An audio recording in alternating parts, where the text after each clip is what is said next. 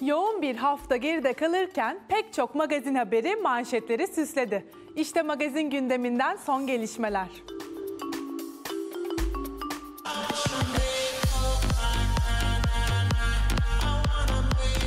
Magazin dünyası en hareketli haftalardan birini geçirdi. İşte ünlüler dünyasında haftanın renkli gündemi.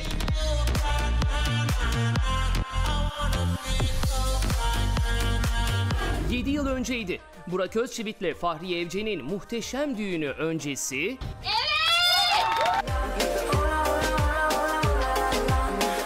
Yapılan kına gecesinde buluşmuştu bu üç güzel. Kızlar, e, e, evet, bu şey, hikayedeyiz arkadaşlar. Fahriye Evcen, Aslı Enver ve Sinem Kobal o günden 7 yıl sonra buluştu ve bu fotoğrafı çektirdi. 7 yılda güzelliklerinden hiçbir şeyi kaybetmedikleri gözlendi. Selen Görgüzel'i bir etkinlikte görüntülüyoruz. Kendisine hediye edilen bir pırlantanın gerçek mi yoksa sahte mi olduğunu kontrol ettiriyor.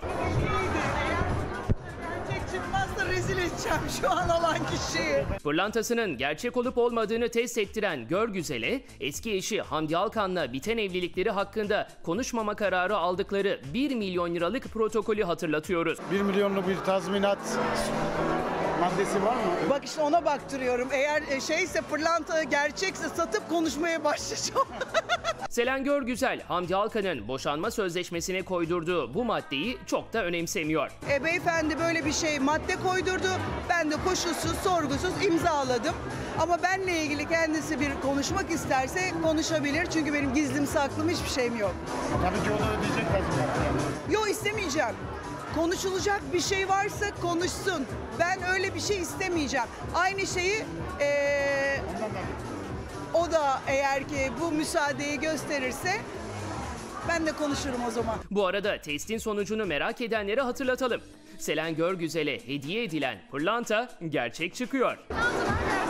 Gerçek çıktı arkadaşlar pırlantalarım. İzmir'de düzenlenen gelinlik ve abiye fuarında modacı Filiz Çelik'in gelinlik defilesinde Özge Ulusoy ve Şevval Şahin iddialı gelinlikler giydi.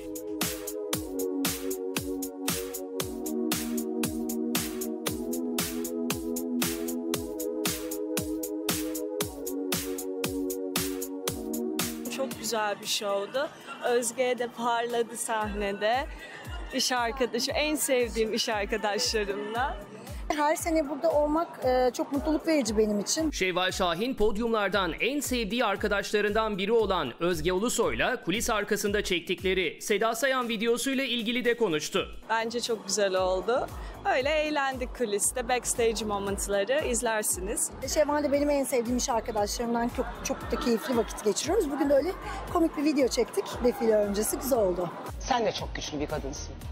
Var. Sen Neler de yaşadın o ya? hassasiyeti biliyorsun. Neler yaşadın ya? Öyle bir şey olamaz. Bu nasıl bir şey ya? İşte benim en üzüldüğüm ama artık insanların bildiği Allah ve aşkına bir anladığı. döksene kendini bir duysun insanlar. Bak seni pür Fuarda düzenlenen Erkan Yılmaz defilesi podyumun ünlü isimlerini buluşturdu.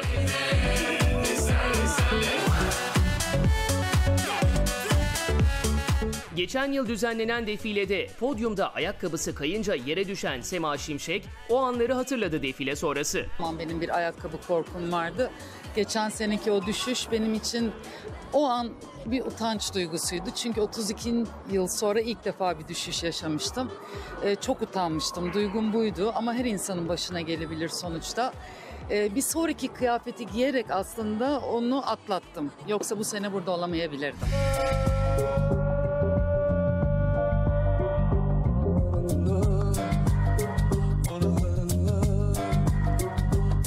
Defilenin tecrübeli modeli Gizem Özdilli eski mankenlerin buluşmasına esprili bir yorum getirdi. Bizden sonrası Tufan. Gizem, Gizem çok komik en bu konularda. şey e, yaşlı ama tecrübeli Yaşlı manken. demeyelim. Dur ben söyleyeyim dürüstçe. Kendi aramızda konuştuk. yaşlı ama deneyimli manken grubuyuz. Hatta espri yaptık. E, bu e, arkadaşımız tekerleği, tekerleği bulan arkadaş. Bu Ulaşım öyle sağlık. parayı bulan Lidyalılardan. Ben de işte ateşi buldum. Böyle hepimiz bir şekilde insanlığa katkı sağladık ama bugün de burada modaya e, destek amaçlı bir araya geldik.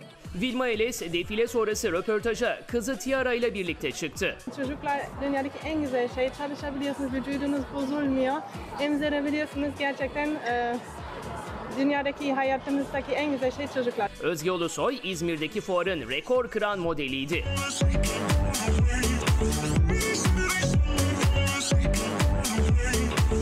Fuarın kapanış defilesinde abiye kıyafetlerle podyuma çıkan Özge Ulusoy, fuarda rekor kırmış olabileceğini iddia etti. Yıllardır buraya geldiğimi hesaplarsak tam olarak sarmadım ama bugün 1 milyonuncu abiye kıyafetimi kutluyor olabiliriz. Yani bir rekora koşmuş ve rekor kırmış olabilirim. E, Böyle eski arşivleri açıp e, rekorlar kitabına falan girebiliriz. o kadar çok defile yaptık ki. Bir süredir pankreas kanseriyle mücadele eden Tanyeli yine bir operasyon geçirdi.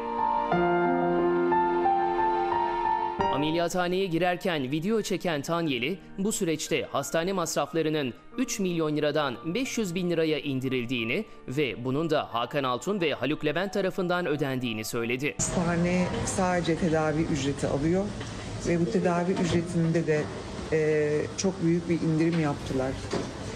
Yani 3 milyondan 500 bine falan indiler. Onlar da ilaç paraları. Bunları da sevgili Hakan Altun, Haluk Levent, Avustralya'daki dostlarım e, ödedi. Ve e, yani e, gerçekten hem teşekkür ediyorum, Allah razı olsun diyorum. Ameliyat sonrası ziyaretçisi eksik olmayan Tanyeli, yayınladığı bir videoyla ziyaretçilere sitem etti. bizi anlamanız açısından sanki biraz belki kılavuzluk yapabilirim diye düşünüyorum.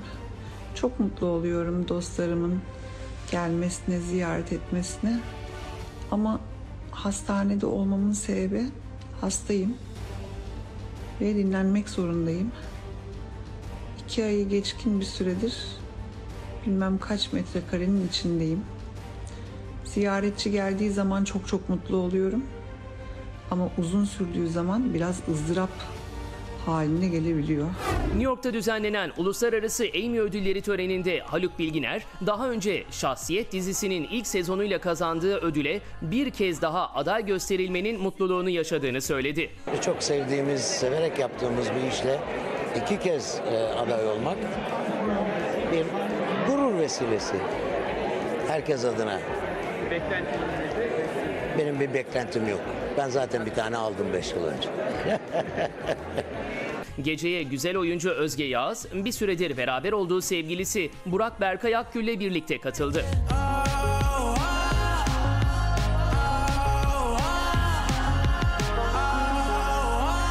Ödül töreni dönüşü İstanbul'da görüntülenen Özge Yağız ve Burak Berkay Akgül artık birlikte görüntü vermeleri konusuna bakın ne dedi. Efendim artık böyle eskiden görüntü vermiyordunuz. Görüntü vermeme adına bir çabamız yoktu açıkçası yani. Bazen işle özel hayatı ayırmak gerekiyor ya birbirinden. Onların da kendi içinde farklı parametreleri var diyeyim. Yani yoksa onun için ekstra bir çabamız olmadı hiç. Ünlü oyuncu Ceyda Düvenci'nin 13 yaşındaki kızı Melisa Nur Akgün, müzikle olan bağını bir adım daha ileriye taşıyarak Nil Kara İbrahimgil'le aynı sahneyi paylaştı. Melisa'yı davet ediyorum.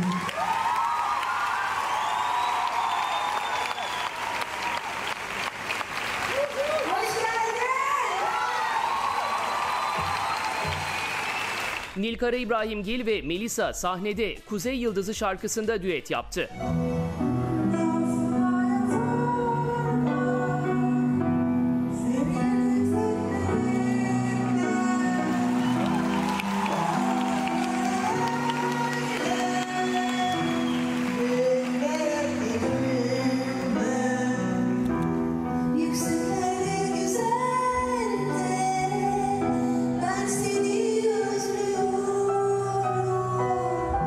İkili konser öncesi böyle prova yapmıştı söyleyecekleri şarkıyı. Bazen çok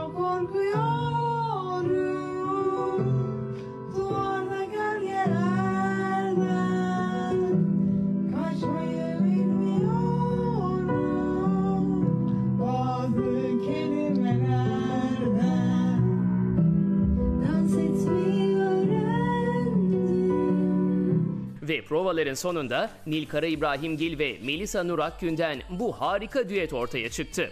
Bazen çok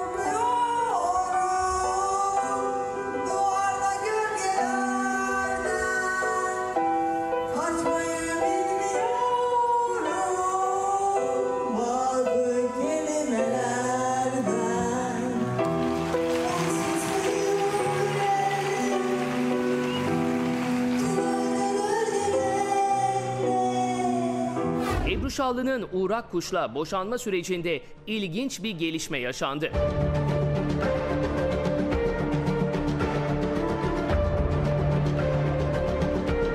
Geçtiğimiz haftalarda Uğrak Kuş boşanma kararını açıklamış, Ebru Şallı da davayı ilk kendisinin açtığını hatırlatarak boşanmayı doğrulamıştı. Ben kötü bir süreç olduğunu düşünmüyorum açıkçası. Yani herkes evlenebilir, herkes boşanabilir.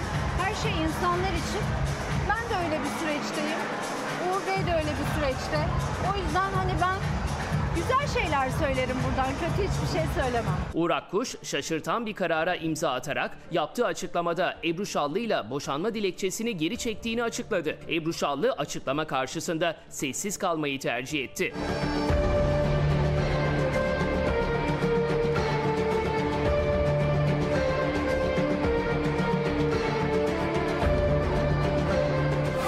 Dönemde ünlü isimlerin tatil dönüşü havalimanında görüntülenmesi moda haline geldi.